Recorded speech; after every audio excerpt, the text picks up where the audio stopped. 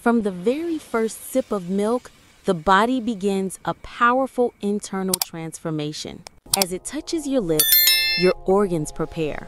The brain signals, the stomach awakens, and the system aligns for absorption. The milk enters the stomach where enzymes break it down into vital nutrients your body depends on. These nutrients travel into the intestines, glowing as they pass through microscopic pathways and enter the bloodstream. Instantly, the entire body reacts. Muscles receive strength building proteins.